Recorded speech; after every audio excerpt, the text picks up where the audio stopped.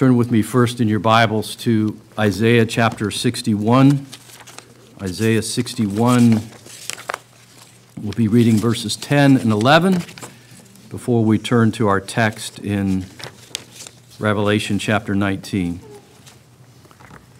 Isaiah 61, beginning at verse 10, this is God's inspired and infallible word.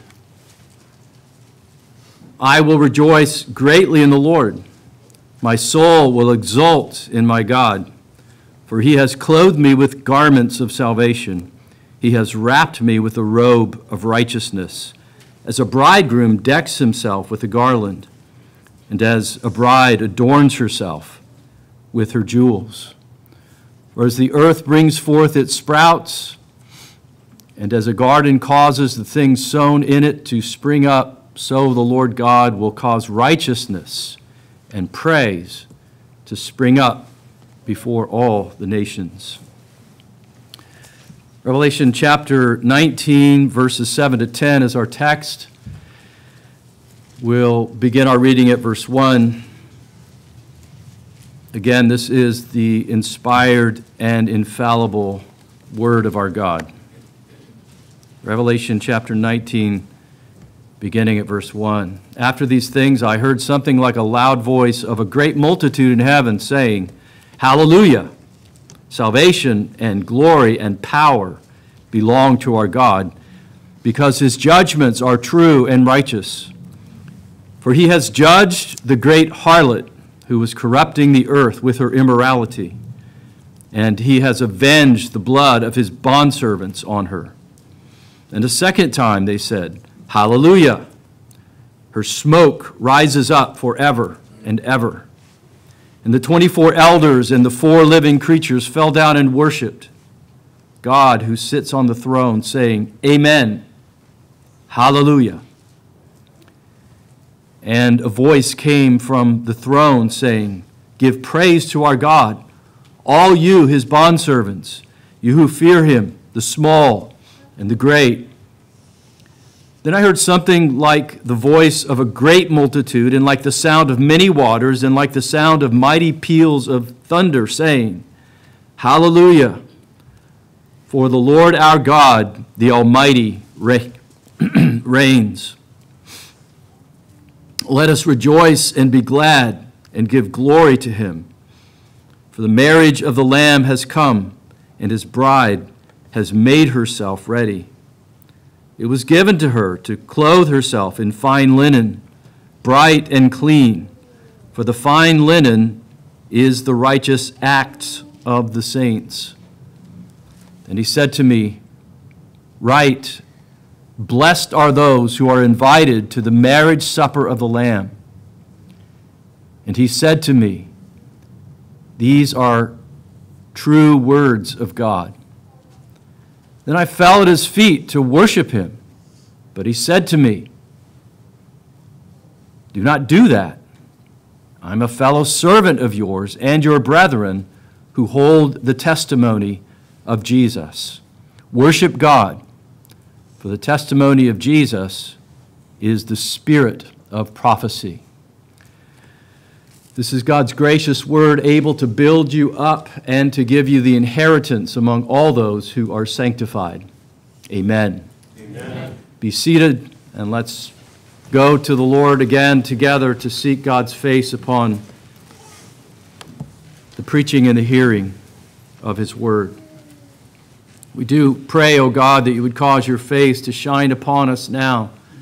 Through the revealed word, we pray uh, that you would be pleased, O Lord, even as you've given this glorious revelation of yourself, uh, that you would open our eyes to understand, give us understanding through the help of the Holy Spirit. We believe the promises that you've given concerning your word, O Lord, that it never returns to you void without accomplishing all that for which you send it, you send it forth, and that your Spirit attends uh, the word and especially the preaching of the word, both in its proclamation and in its hearing. So, our God, we come looking to these promises, pleading them before your throne, asking that you would be gracious to us now. For Christ's sake, amen. amen. We began our exposition of the 19th chapter of Revelation last time by examining the fourfold hallelujah of verses 1 through 6. This is the response of heaven's multitude to the exhortation of chapter 18 and verse 20. Rejoice over her, O heaven, and you saints and apostles and prophets, because God has pronounced judgment for you against her. God's saints are called to praise God for his judgments, to rejoice in his judgments upon the wicked. And here, the, in the vision to John, the sights and sounds of God's wrath poured out upon Jerusalem, the great harlot bring forth joyful strains of worship from the hosts of heaven. Psalm 104, verses 35, with its hallelujah, captures the theme of these hallelujahs in Revelation 19, verses 1 to 6. Let sinners be consumed from the earth, and let the wicked be no more. Bless the Lord, O my soul. Hallelujah. The first hallelujah, verse 1, offers praise to God for his sovereignty. That first hallelujah praises the Lord for his sovereignty exhibited in his great salvation and in the judgment of the great harlot, Jerusalem. The fourth hallelujah also praises God for his sovereignty, this time shown in the marriage of the Lamb to his bride. The fourth hallelujah is connected to verses 7 through 10. Uh, that hallelujah in uh, the exhortation uh, in 7 to 10 flows out of this hallelujah in verse 6 For the Lord our God, the Almighty, reigns. Today's text in verses 7 to 10 is an exhortation to celebrate the union of Christ to his church. It's a very important theme. Find this theme throughout uh, the scriptures, especially in the Apostle Paul, in those words uh, that he often uh, repeats in Christ uh, we have been baptized into Christ Jesus. We've been raised in Christ Jesus to new life.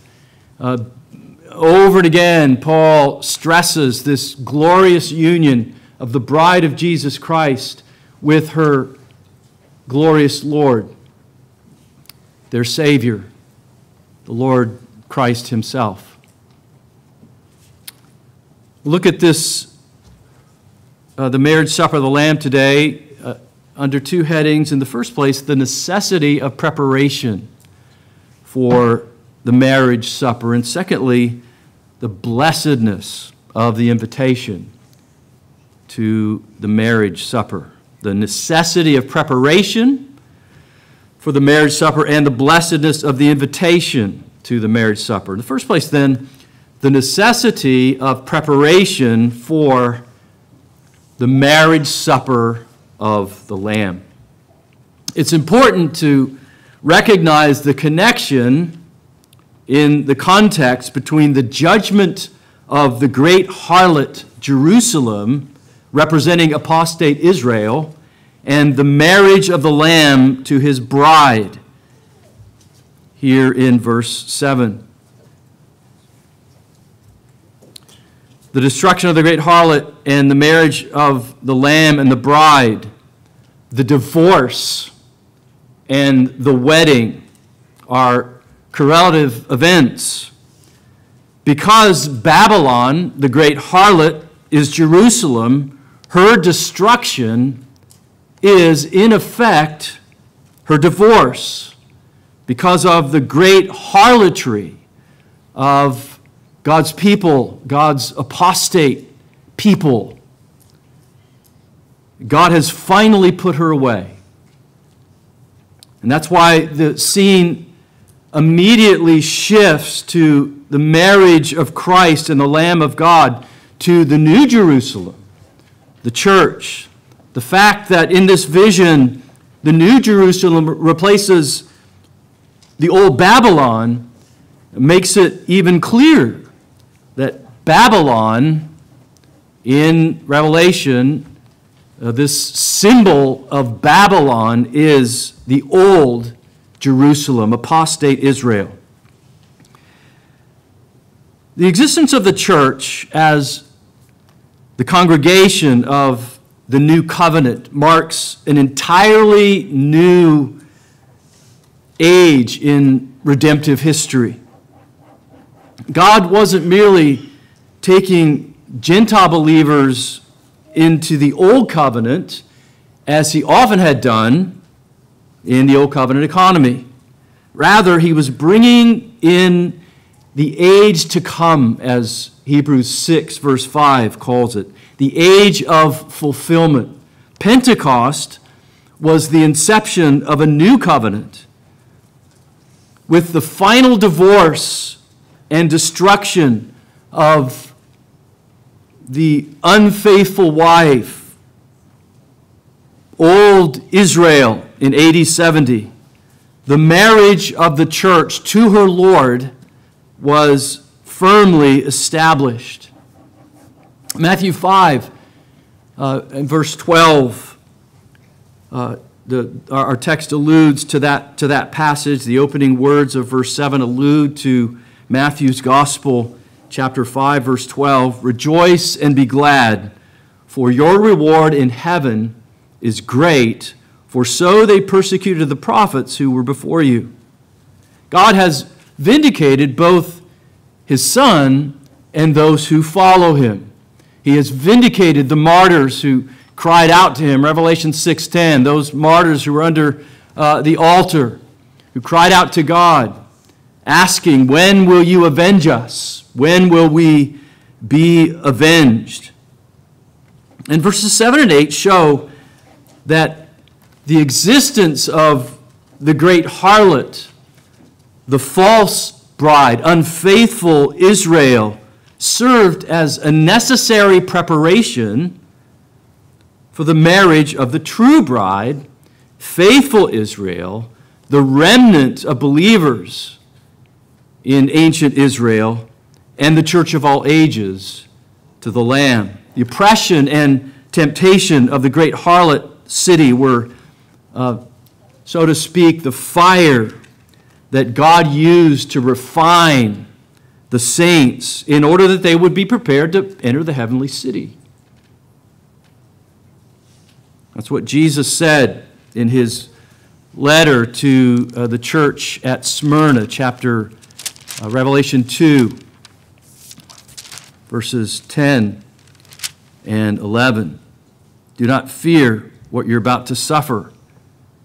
Behold, the devil is about to cast some of you into prison so that you'll be tested, and you will have tribulation for 10 days. Be faithful until death and I will give you the crown of life. He who has an ear, let him hear what the Spirit says to the churches. He who overcomes will not be hurt by the second death. That's what the, the Apostle Paul teaches in that very familiar passage in Romans chapter 8, verses 28 through 30. We know that God causes all things to work together for good to those who love him and are called according to his purpose, for whom he foreknew these he also predestined to become conformed to the image of his Son. And whom he predestined, these he also called. And whom he called, these he also justified. And whom he justified, these he also glorified.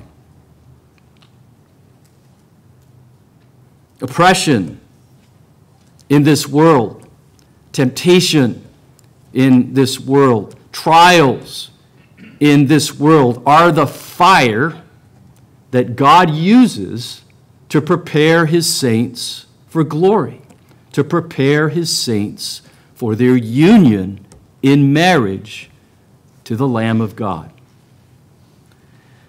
Notice in verse 7 that the bride has made herself ready.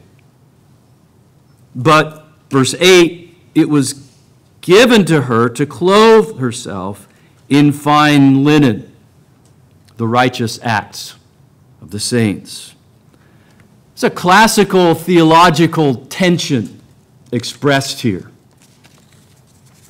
The bride on the one hand, prepares herself, verse 7, while on the other hand, she's given these garments. She has, uh, she's made herself ready. She, the text says, has made herself ready. But in reality, the righteous acts that she displays are given to her. The tension here is only apparent. The saints are justified by faith alone but the faith that justifies is never alone, it's always followed by good works. Both are a product of grace. Justification is an act of God's free grace. Sanctification is a work of God's free grace. And a transformed life isn't only a proper response to the righteousness that we've been given through faith in Jesus Christ. It's a necessary response. And our text speaks of the necessity, uh, necessity of, of our preparation for the marriage supper of the Lamb, the necessity of our preparation for the consummation of that marriage. Not only must we be given wedding garments, not only must we be clothed uh, in white linen, uh, the righteousness of Christ, but also clothed with the righteous acts of the saints, conformed to the image of Christ, made like him in order to enter the celestial city of heaven. And therefore, the author of Hebrews exhorts us, chapter 12, verse 14, to pursue sanctification without which no one will see the Lord.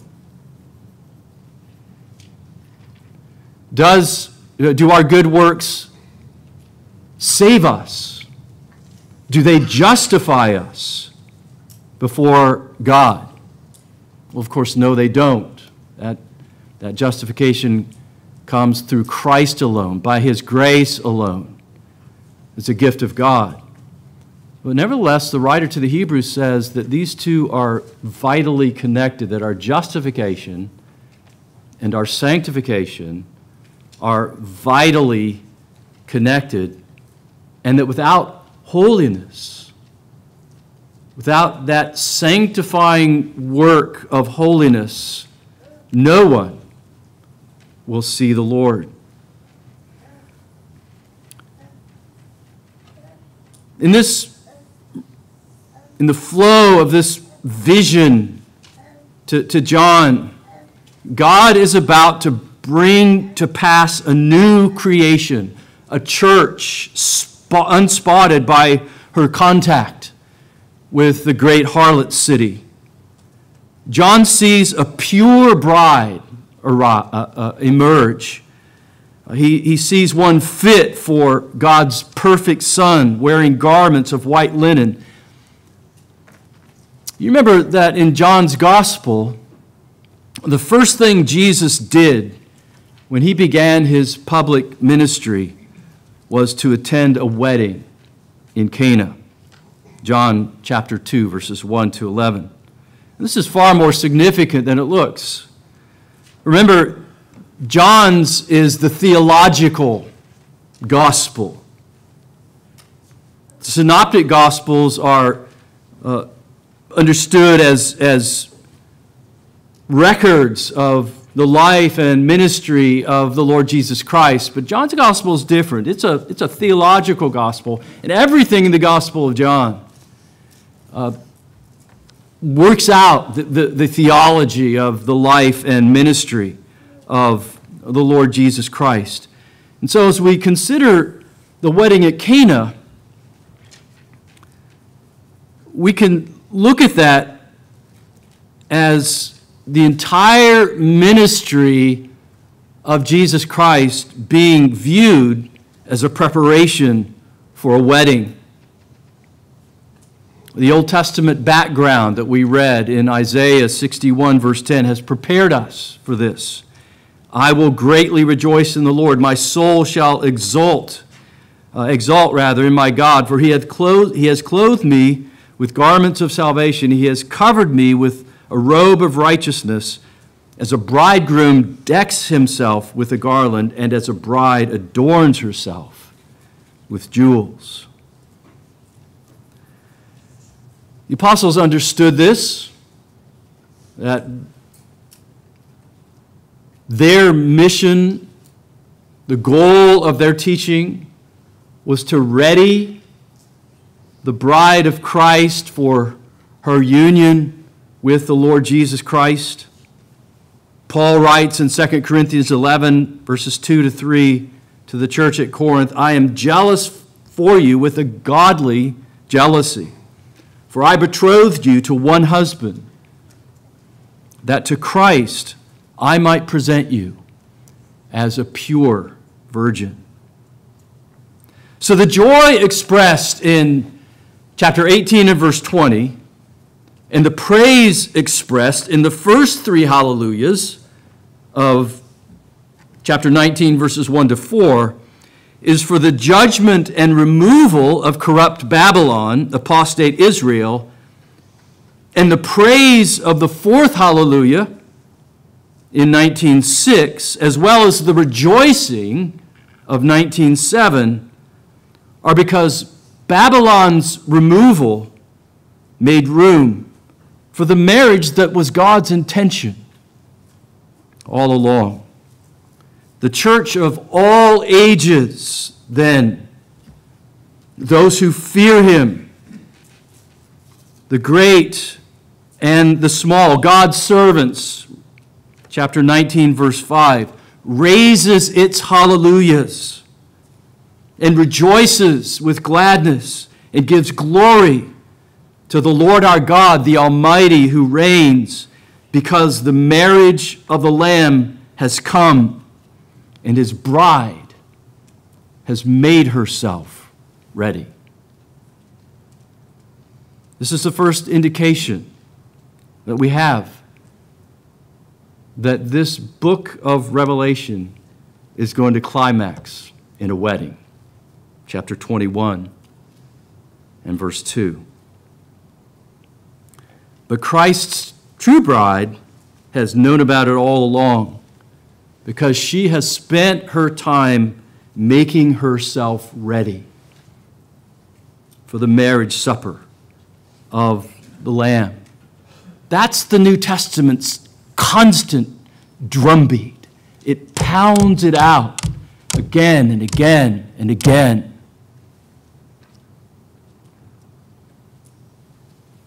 Let me show you two, uh, just, just two of, of many passages that, that we could turn to in this regard. In the first place, 2 Peter chapter 2, verses 10 through 14. But the day of the Lord will come like a thief, in which the heavens will pass away with a roar, and the elements will be destroyed with intense heat, and the earth and its works will be burned up. Since all these things are to be destroyed in this way, what sort of people ought you to be in holy conduct and godliness, looking for and hastening the coming day of God, because of which the heavens will be destroyed by burning and the elements will melt with intense heat? But according to his promise, we are looking for a new heavens and a new earth in which righteousness dwells. Therefore, Peter exhorts God's people, therefore, beloved, since you look for these things, be diligent to be found by him in peace, spotless and blameless. And then, right next door in John's first epistle, chapter 3, verses 1 through 3, we say this to see the same pattern of preparation for the coming of the Lord Jesus Christ. John begins that third chapter see how great a love the Father has bestowed on us that we would be called children of God, and such we are.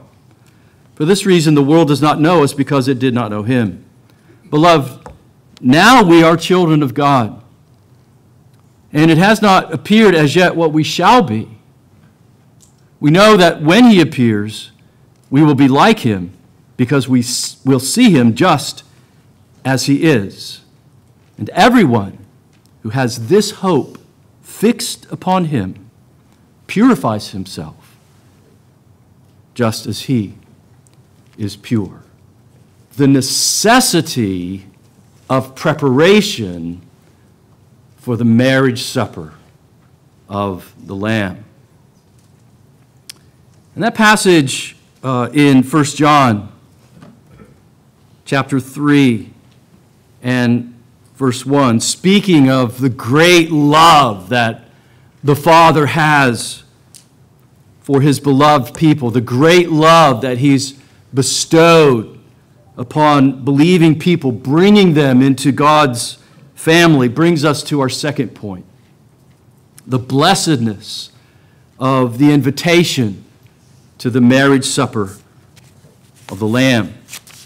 In verse 9, John is instructed to write the fourth and central beatitude of the book of Revelation. There are seven beatitudes, seven blesseds in the book of uh, Revelation. This is the, the, the central, uh, the fourth and central beatitude of the book of Revelation. Blessed are those who are invited to the marriage supper of the Lamb. And the absolute certainty of this promise is underscored by the angel's assurance to John there in verse 9 that these are true words of God. God's people have been called out of the world to become the bride of the Lamb of God who takes away the sins of the whole world. And these are true words. Uh, the angel who reveals this to John says, of course, they're true words because uh, they're the, the revelation of the Lord Jesus Christ to the Apostle John in this vision. And this is the greatest of the Beatitudes of Revelation, the greatest blessing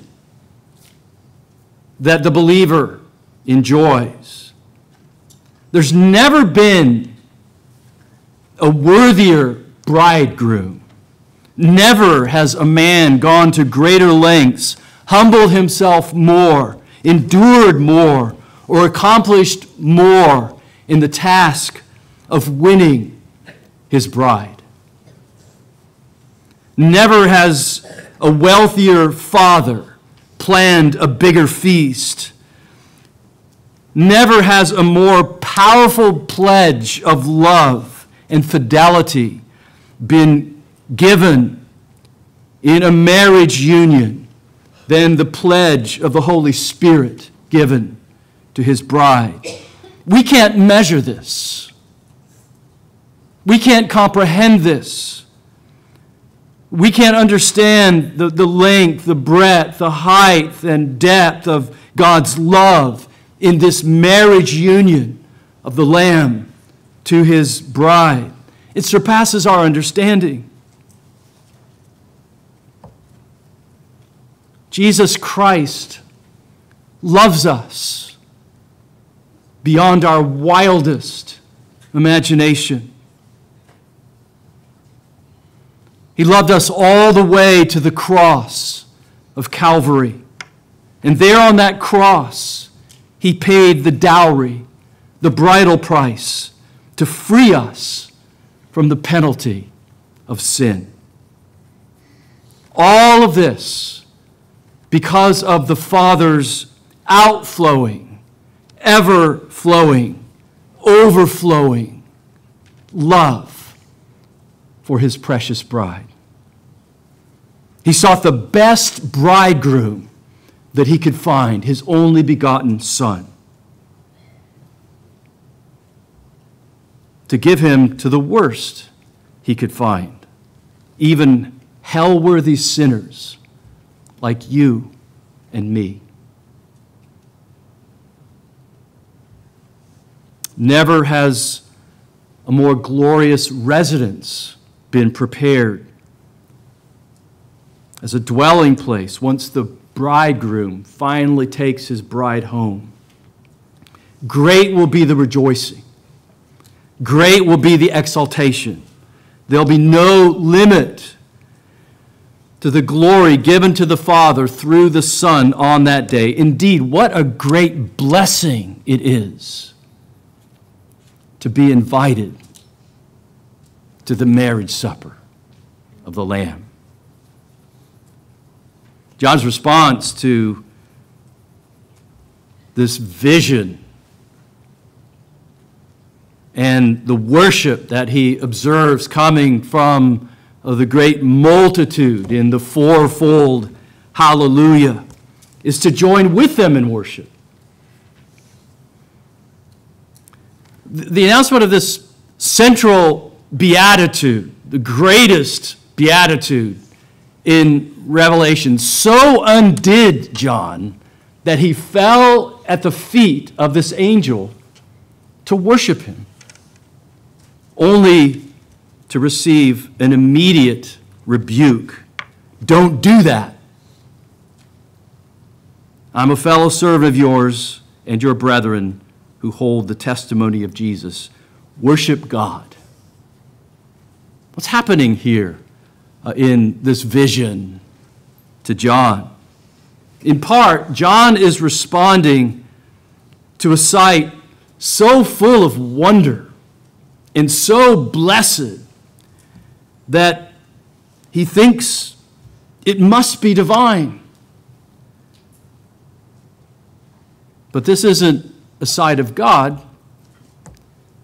it's merely a fellow servant. It's an angel who's revealing God's divinity in the marriage supper of the Lamb.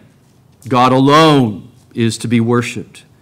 It's never right to worship angels, no matter how wonderful they may be. God is to be worshiped. Verse 10 tells us, For the testimony of Jesus is the spirit of prophecy. Meaning of this last sentence isn't as difficult as it may appear. It's saying one of two things.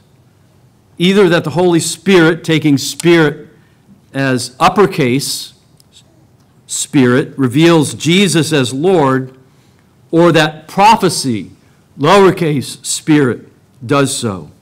In either case, God alone is to be worshiped, including his Christ. And God glorifying worship places Jesus at the center. This is a this is a wondrous vision that the Lord Jesus Christ gives to John. The blessedness of this vision is beyond our comprehension. And we have today a constant token of the marriage supper of the Lamb. It's the invitation of believers to come to the Lord's Supper. The supper is the anticipatory meal of this coming consummation of our union with the Lord Jesus Christ. We eat and drink until he comes. 1 Corinthians 11 26. We anticipate what's before us, that is, what the, what the supper means to us now in our union with Jesus Christ, as much as we look back on uh, the remembrance of Christ's death on the cross, of what Christ has already done here in the Lord's Supper. And as in the supper, uh, there's a tension, as in all of Christian life, a tension between, between the already and the not yet, between that which has already happened and that which is to come. Lord's Supper is a reminder that there's preparation to be done before our union is consummated with the Lord Jesus Christ in heaven. And our catechism makes this clear. It makes this biblical, uh, it makes this biblical truth clear.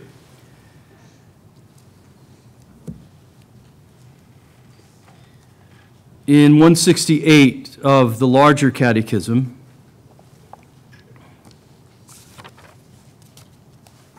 rather 171 of the larger catechism, how are they that receive the sacrament of the Lord's Supper to prepare themselves before they come unto it? And listen to what uh, our, uh, the, the authors of the Westminster Larger Catechism write here. They that receive the sacrament of the Lord's Supper are, before they come, to prepare themselves thereunto by examining, their, themselves of their being in Christ of their sins and wants, that is, uh, their sins and their lack of conformity to God's will expressed in Scripture, of the truth and measure of their knowledge, faith, repentance, love to God and the brethren, charity to all men, forgiving those that have done them wrong, of their desires after Christ, and of their new obedience by renewing the exercise of these graces by serious meditation and fervent prayer. So there's a preparation to be made, and uh, that preparation has to do with our progress in holiness. Whether or not we're progressing in the faith, whether or not there's evidence in our Christian lives as to uh, the, that grand and, and glorious name of Jesus Christ that we profess. Our union with Christ here and now in the already is to produce the fruit of holiness in our lives. And so there's the, the supper then is a, is a token of the ultimate cons- consummation of our union with Christ uh, in heaven. In the shorter catechism, reminds us that this is required, that preparation for the Lord's Supper is required if we would worthily partake of the supper. Of course, the writers here aren't saying that, that our, our preparation uh, makes us worthy before God. We've already expounded on that. We've already said that it's that nothing but uh, the righteousness of Christ imputed to us, received by faith alone, makes us worthy before God. We don't come to the supper in our own worthiness. We come in Christ's worthiness and his righteousness clothed in the robes of righteousness that, that we've been given through our union with Jesus Christ. But nevertheless, it's required of them that would worthily partake of the Lord's Supper that they prepare. And that preparation here is spelled out for us, even as the Apostle Paul spells out for us in 1 Corinthians 11, is the examination uh, is the examination of ourselves, of our knowledge to discern the Lord's body, of their faith to feed upon Him, of their repentance, love, and new obedience, lest coming unworthily, they eat and drink judgment to themselves. So, this vision to John, in pointing us to the Lord's Supper as a token of that uh, final consummation of our union with Christ in the marriage supper of the Lamb, reminds you to be diligent in your preparation for Holy Communion. And Revelation calls you to view participation in the Lord's Supper now as anticipatory of the marriage supper of the Lamb to come. And with that ultimate consummation of this union with Christ in view, to pursue holiness, without which no one will see the Lord. Let's pray. Our God and our Father, we bless your name for the beatitude of this section of the vision to the Apostle John. We bless your name, O Lord, for the blessedness of the invitation to the marriage supper of the Lamb, given only to those who have been clothed in white linen.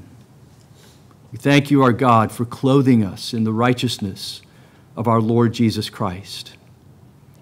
And we pray that you would help us to understand. Give us eyes to see and ears to hear what the Spirit says to the churches that holiness is necessary to enter the kingdom of God.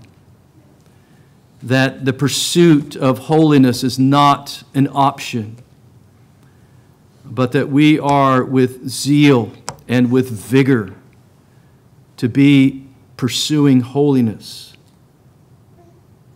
That, like you, O Father, are holy, we ourselves are to be holy in all of our behavior. Help us, O God, to take Uh, this important exhortation in Revelation seriously and to walk before you faithfully, working out our salvation with fear and trembling. We ask in Jesus' name. Amen. Amen.